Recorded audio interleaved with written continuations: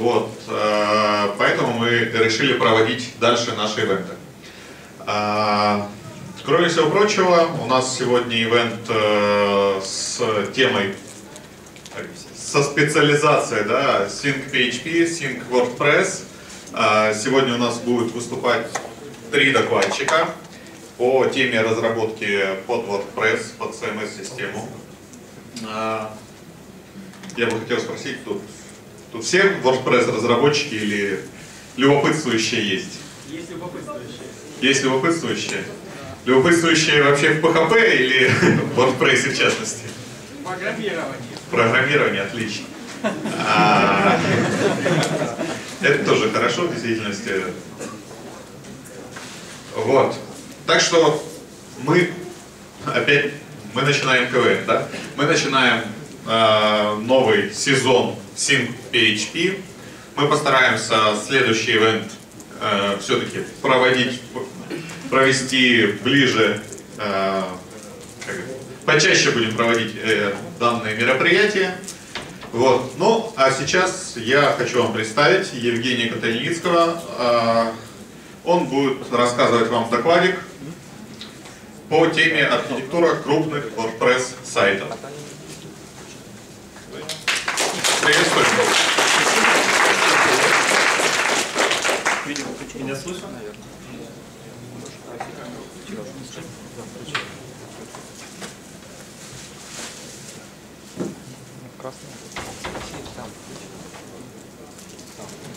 Всем привет. Так лучше.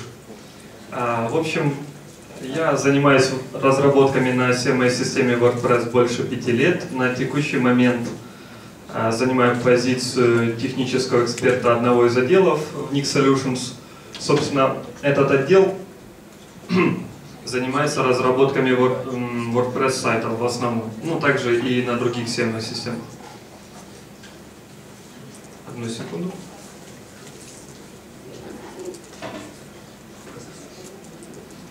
О чем мы сегодня поговорим? Э, сегодня мы будем разговаривать про разработку более-менее крупных сайтов на CMS-системе WordPress. Э, речь пойдет не только о архитектуре таких сайтов, но и о полезных практиках. Секунду.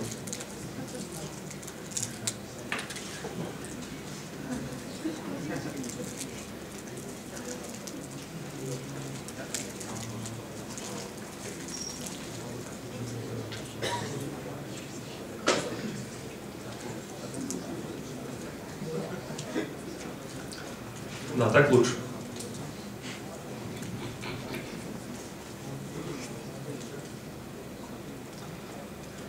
Собственно, а, о чем мы будем говорить? Мы будем говорить не только о архитектуре, но и некоторых полезных практиках, которые важны также, а может быть и больше иногда, чем архитектура. А, речь пойдет именно в контексте разработок на WordPress. То есть есть специфические вещи, есть вещи, которые более актуальны именно на этой CMS-системе. Есть некоторые специфические вещи для CMS-систем в целом. Э, поэтому не удивляйтесь, если ваши приоритеты не совпадут с моими. Я говорю сугубо в этом контексте сегодня. А, начнем.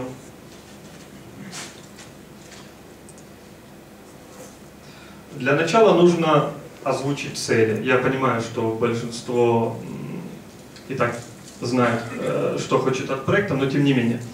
А для нас э, что важно? Чтобы проект было легко поддерживать, из этого вытекает низкий порог вхождения, себестоимость изменений и некоторые другие важные аспекты. И чтобы наш проект не кушал слишком много ресурсов, не было проблем с быстродействием. А, Соответственно, какие бывают сложности в поддержке проектов? Вот какие вопросы возникают? Я думаю, у каждого возникал, если не весь список, то большинство пунктов. Поднимите руки, у кого не было ни одной из этих проблем, ни, од... ни один вопрос не возникал, не приходил в голову. Отлично. Озвучивать не буду каждый из них. Я думаю, все понимают, что эти пункты есть, это из наболевшего. А, начнем более-менее с простого, про быстродействие. Про быстродействие кратко, потому что это тема актуальна для любого проекта, независимо от того, это WordPress или нет.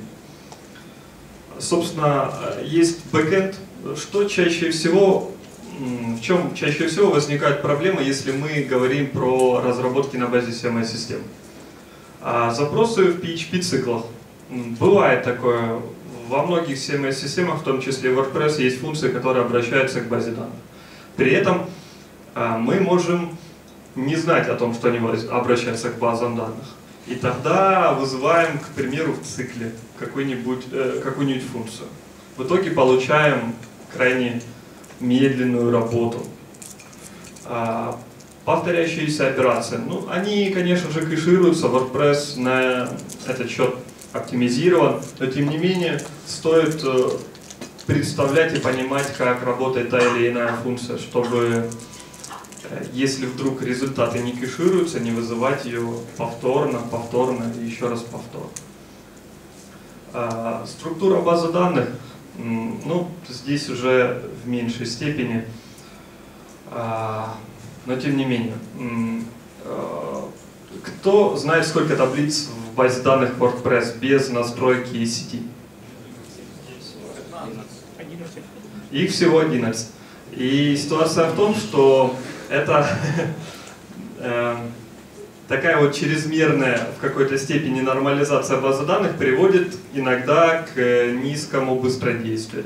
То есть с точки зрения теории разработки реляционных баз данных отличная модель, все нормализовано, красиво. Но тем не менее э, ресурсов это кушает достаточно много. Поэтому если мы работаем э, с нестандартными типами контента и говорим и хотим получить очень много свойств для какого-то контента, очень много полей, начинаем использовать custom fields, нужно вспоминать структуру базы данных и понимать то, что каждое свойство это либо отдельный запрос, что очень ужасно, либо как минимум это э, join, left join.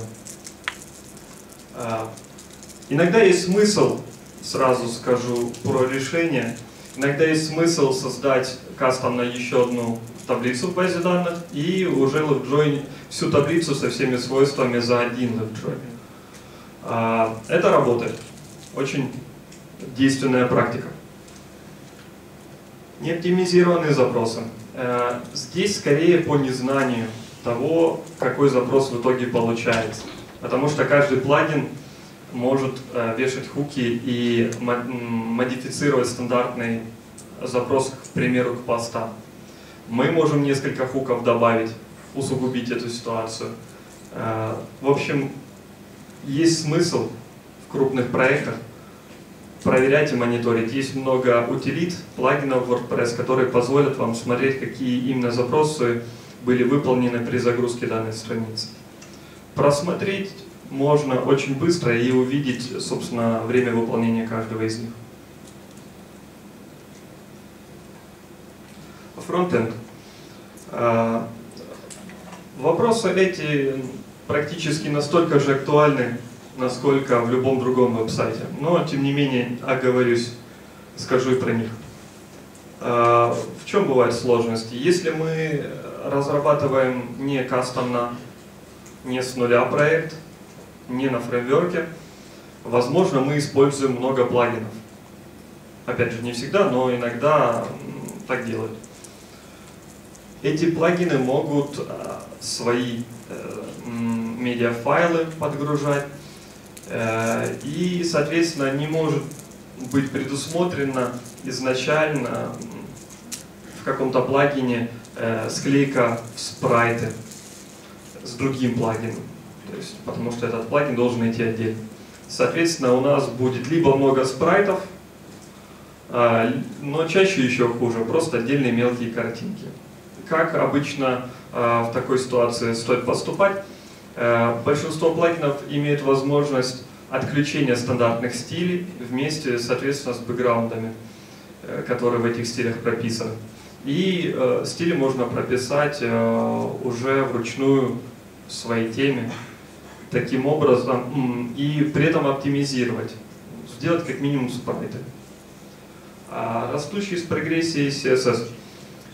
Я забегаю в это, этим пунктом немного наперед. Э, про организацию модулей, когда буду говорить, скажу детальнее. Но э, основная идея в том, что если проект большой, то есть смысл разбивать на большое количество CSS-файлов, для того, чтобы человек мог э, каждый из этих файлов в отдельности э, спокойно читать, воспринимать, держать в памяти без особых усилий. Если все будет написано в одном файле, конечно же, там может вырасти до 3-4 тысяч строк, э, рефакторить или вообще как-то воспринимать этот файл будет крайне сложно, и, скорее всего, Versace просто будут дописывать в стиле вниз при каждой необходимости. Ну, можно, конечно, заметить, что эта рекомендация может негативно повлиять на быстродействие, но, опять же, э, существуют решения, которые позволяют эти все файлы э, в продакшене объединить в один, в том числе и мой плагин. Может быть, кто-то пользовался. Э, позже о нем еще вспомним.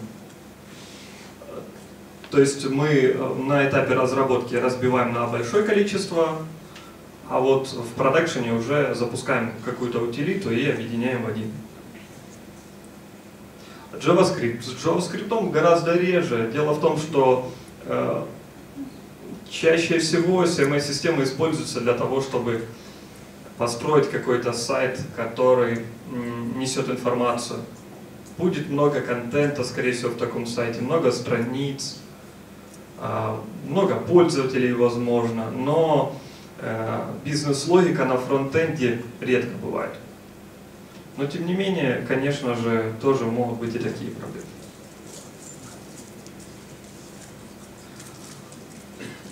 Теперь уже переходим наконец к практикам. Какие практики нам позволят работать э, с крупным WordPress проектом и при этом не думать о прыжке из окна? Э, Собственно, одна из простейших практик, как обычно хочу начать с простого, это стандарты кодирования. В WordPress есть свои стандарты кодирования. PHP стандарты кодирования WordPress, к сожалению, отличаются от э, общепринятых стандартов кодирования в PHP. Ну, по причине того, что WordPress появился раньше. Вот. Соответственно, пользуемся, читаем. Э, для чего это нужно? Если в проекте вы не один, а я думаю, что вы будете не один в проекте, в конце концов, как минимум, когда-то кому-то вы его должны будете передать. Этому человеку будет гораздо легче работать с тем кодом, который отформатирован в стиле WordPress, а не в каком-то вашем. А, если у вас а, а, компания или отдел, или просто команда, лучше принять именно стандарты кодирования WordPress по простой причине. В любом случае вам придется читать исходный код WordPress для того, чтобы э, полноценно работать над крупными проектами. И зачем в одном проекте два стандарта кодирования? Собственно, HTML, CSS, JavaScript менее актуальны, но тем не менее стандарты существуют. А сразу оговорюсь, в WordPress не все написано по их же стандартам. А, но я думаю, что основная часть нового кода, и его становится процент все больше и больше, все-таки по стандарту. А, опять же, как еще можно писать на одном языке с другими разработчиками WordPress? Можно использовать те функции, которые уже есть в WordPress. А, к примеру, цикл функций wp, remote get, remote post могут заменить нам URL. Очень удобная и простая обертка для запросов по сети. Кроме этого, если вы планируете в каталог WordPress, WordPress.org э, свой исходный код отправлять, э, ваш код могут не принять, если вы используете какие-то крупные библиотеки, небезопасные библиотеки. Они доверяют своим оберткам, но не доверяют библиотекам вроде Kuru. Собственно, плагин гораздо легче отправить в каталог WordPress, тему сложнее. На тему а, действуют настолько жестокие правило, что вы даже fopen не можете функцию использовать у себя в коде. Но для этого есть обертки. Э, вот я три примера привел. Э, доклад все-таки не об этом. VP Remote для работы с сетью, VP Mail для почты и DB Delta редко используется, но что она хорошего делает? Она может вам показать разницу и между той таблицей, которая уже создана в базе данных, и тем кодом, который вы хотели бы видеть. То есть э, между кодом SQL Create. Соответственно, нет необходимости проверять по одному каждое поле и там делать большие циклы. Используется в ядре WordPress, доступно, естественно, и для нас всех.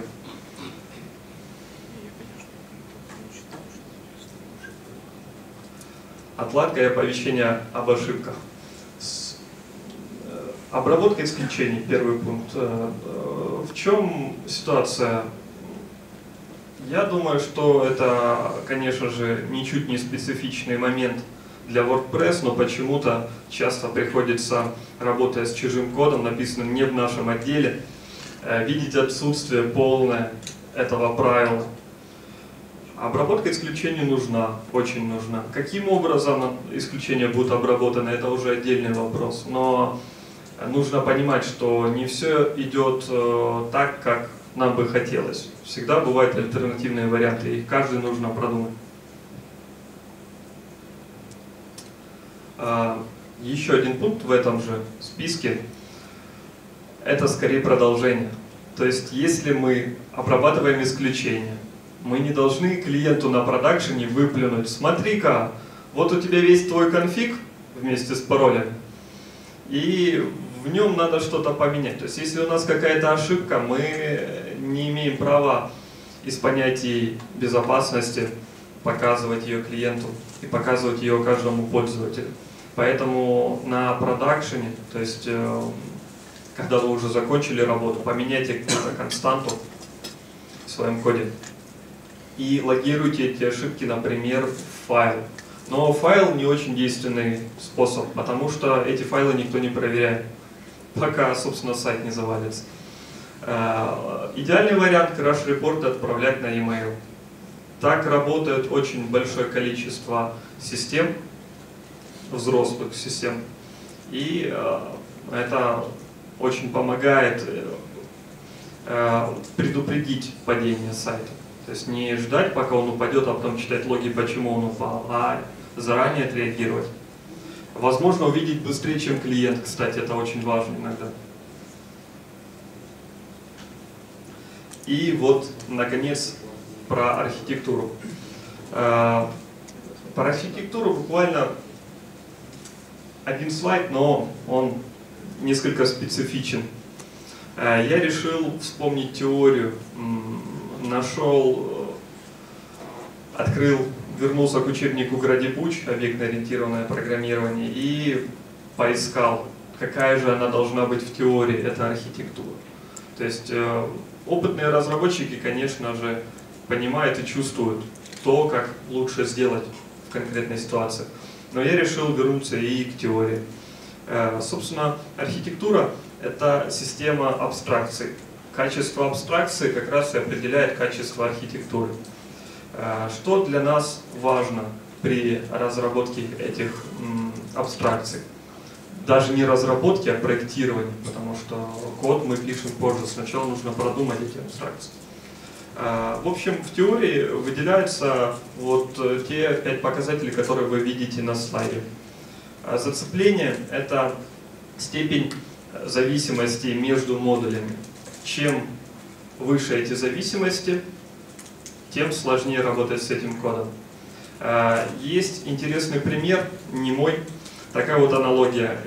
Если мы разрабатываем колонки, аудиосистемы модульные, хотим, чтобы их можно было собрать, сконфигурировать под себя, то, наверное, размещать блок питания в одной из этих колонок будет неверно. А, соответственно, по этой же аналогии работаем и в коде. То есть, э, если какой-то функциональности нужен доступ из разных модулей, то она не должна быть в одном из этих модулей, иначе связи становятся непрозрачными, сложными и тяжело держать в голове эти абстракции и знать, что где искать. А, связанность. Связанность – это связи внутри самого отдельно взятого модуля. Э, есть э, связанность функциональная и есть по случайному принципу. Э, конечно же, неприемлема связанность по случайному принципу. Еще одну аналогию хочу привести из этого же учебника, я думаю, всем известного. В одном модуле, если будет а, класс собаки и класс космического корабля, то, возможно, здесь что-то не так. То есть желательно, чтобы все элементы модуля работали над одной идеей, над одной функцией. Они были связаны, конечно, между собой, э, но вот с целью решения одной конкретной задачи. Полнота. Полнота – это, собственно, полнота интерфейсов э, наших модулей. То есть э, на логическом уровне каждый интерфейс каждого модуля должен обеспечить потребности всех его клиентов. Так, э, достаточность. Достаточность – это полнота реализации этого интерфейса. Собственно, я думаю, этот пункт будет всем понятен. Примитивность.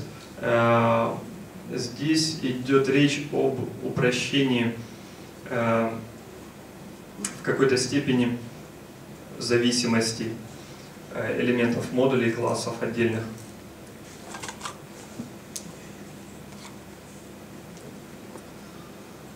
Так, ну, конечно же, э, про ООП говорить не буду, и про парадигмы хватит нам теории, но все же вернемся к, к нашим, собственно, конкретным случаям и кейсам.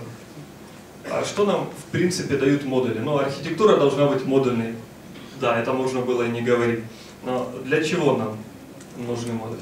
Модули нам нужны в первую очередь для упрощения, э, для повторного использования и для того, чтобы мы могли совместно работать в команде. Собственно, э, совместно работать в команде можно возразить, сказать, нам поможет гид. А, или СВН в крайнем случае. Но все-таки неудобно работать над э, одной и той же задачей. Нужно как-то разделять их логически и, собственно, в коде. Чтобы при комитах у нас не было конфликтов и так далее.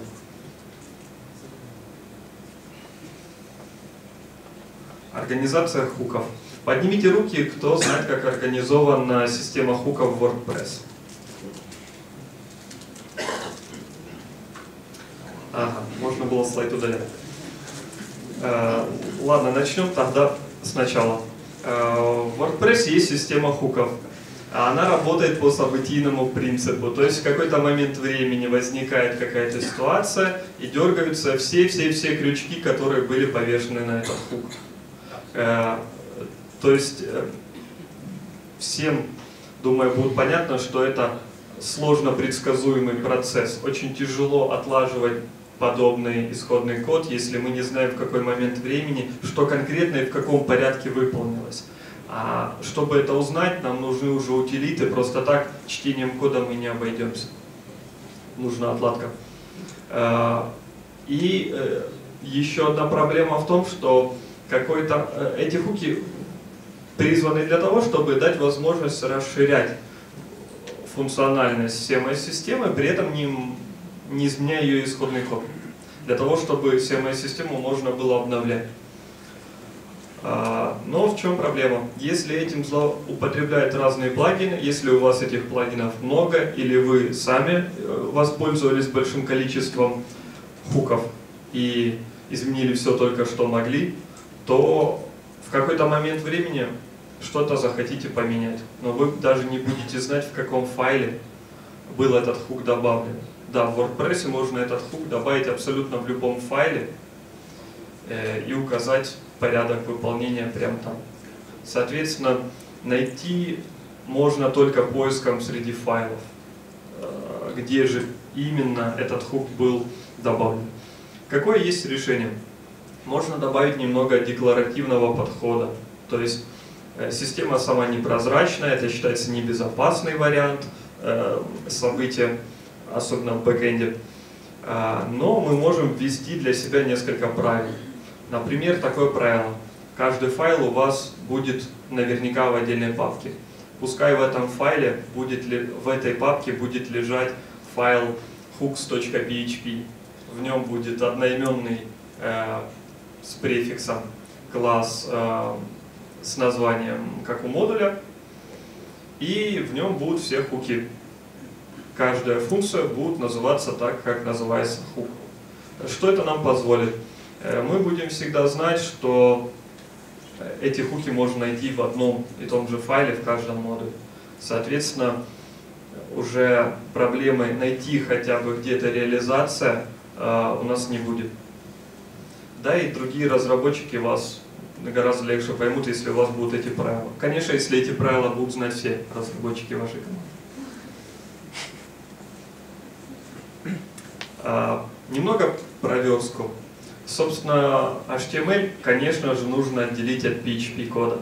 А, сам по себе WordPress из коробки а, не показывает нам, как с этим нужно работать и не имеет никаких внутренних механизмов. Для этого при разработке крупных проектов нужно постараться нам самим. А, что мы должны сделать? Мы можем использовать какой-либо существующий шаблонизатор или пользоваться банальным э, include, а, но главное это разделение а, вот этих вот шаблонов, отделение их от JavaScript, отделение их от PHP и, э, собственно, разбивка их на модули. То есть, если у нас есть модуль, в нем свои а, шаблоны. Есть модуль номер два, в нем свои шаблоны. То есть, э, шаблонизатор это не есть проблема. К примеру, в Drupal он есть из коробки, в WordPress нет. А, главное это то, как мы код организуем, потому что все э, при такой вот гибкости лежит на нашей ответственности. И мы должны об этом не забыть, не смешивать с бизнес-логикой HTML, не смешивать с JavaScript этот HTML. А, как организовать, я думаю, все представляют. Главное, чтобы в каждом модуле была своя папочка templates.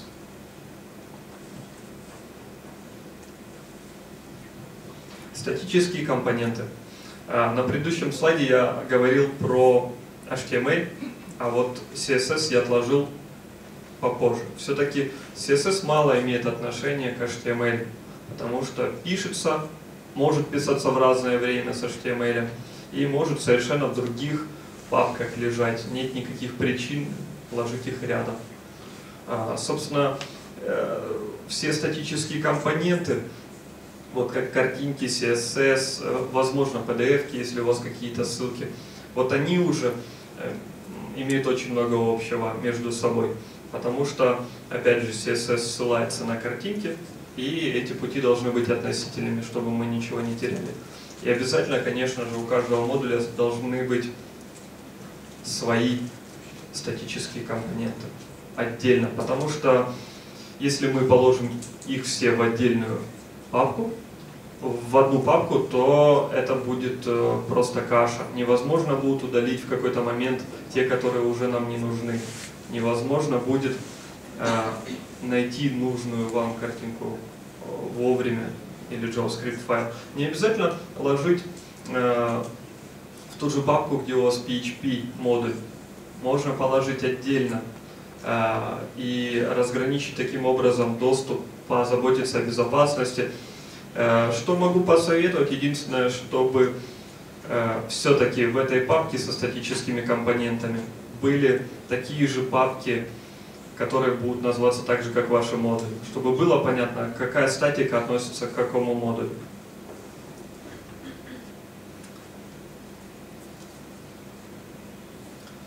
Вопросы? Да. Э, Антон Шевчук когда-то упоминал в своем блоге, что э, PHP сам является шаблонизатором. Зачем использовать какой-то отдельный шаблонизатор? Это- я согласен полностью, это и есть моя мысль. То есть нет проблемы в том, что шаблонизатора нет. Можно использовать include. Главное, чтобы в этих файлах не было бизнес-логики. А это уже вопрос не синтаксиса, а того, как мы организовываем свой код. Понятно. Спасибо за вопрос. Можно Да. Э, дополнить? Ну, можно написать, в принципе, нативный шаблонизатор, о котором Шевчук тоже писал. Ну, и он может занимать, в принципе, там, строчек там, 30 кода и совсем не, не грузить вашу систему. Дополню дополнение. Для чего это может быть нужно? Для того, чтобы обеспечить перегрузку шаблонов. То есть мы, э, если мы разрабатываем крупные проекты, нам важно обновлять в какой-то момент модули, обновлять в какой-то момент весь э, все ядро WordPress. И бывает есть необходимость э, написать модуль, который мы повторно используем в разных проектах. Но при этом немного HTML должен отличаться, потому что дизайн другой. Что мы можем сделать? Мы можем сделать э, возможность перегрузки этих шаблонов в своих проектах. Собственно, что мы используем э, в отделе. Э, Таким образом будет модуль, его можно будет всегда обновить, но если нам нужно поменять э, несколько HTML блоков, то мы в другую папку, overload, к примеру, э, назовем ее, ложим с такими же именами шаблоны, и они перегружаются автоматически.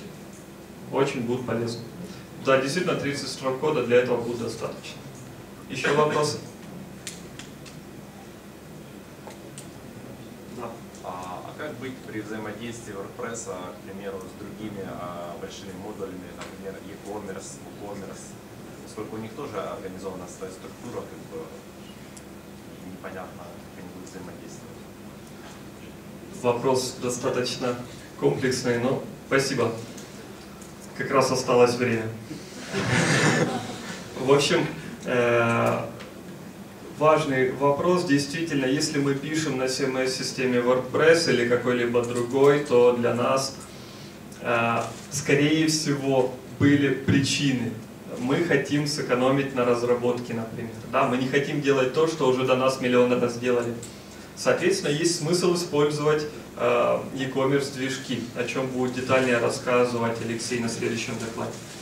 Э, и в этой ситуации, конечно же, нужно не поспорить с этим плагином крупным. То есть э, нам нужно обеспечить всю гибкость для того, чтобы оставить возможности, которые были предусмотрены в этом решении, и дополнить его нашими изменениями. К примеру, если это будет WooCommerce плагин, у него, ну это будет плагин, да, он крупный. Э, Для обеспечения э, изменений шаблонов у него уже предусмотрен механизм, механизм тем, который можно, кстати, покупать отдельно или даже бесплатно скачивать. Соответственно, писать свой шаблонизатор и в этом проекте будет нелогично. То есть э, нужно учитывать особенности тех э, модулей, с которыми мы интегрируемся. Э, Ну, я думаю, детальнее Алексей расскажет на эту тему. Долго останавливаться не будем. Кстати, то, о чем я говорил, про модульность и про вот эти вот практики, это актуально при разработке как тем, так и плагинов. А Если наша задача разработать WordPress сайт, то мы будем, скорее всего, писать тему. Если задача разработать а, модуль, который можно будет применять на разных сайтах, то это, вероятнее всего, будут плагины. Собственно, но правила остаются теми же. То есть э, разделить на модули бизнес-логику, разделить статические компоненты на эти модули, использовать стандарты кодирования. Это также актуально при обеих вариантах. А, Еще вопросы?